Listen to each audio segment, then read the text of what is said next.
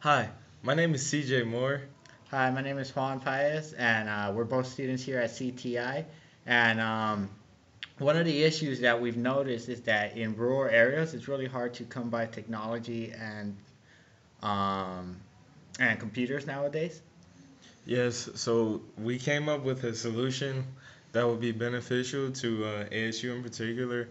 So um, the solution would be to make uh, to make like uh, solar houses, kind of like sustainable houses for like uh, for some of the commu- um, for some of the different villages around um, Poly in particular.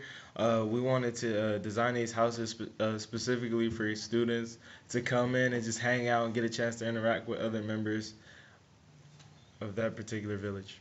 All right, thank you.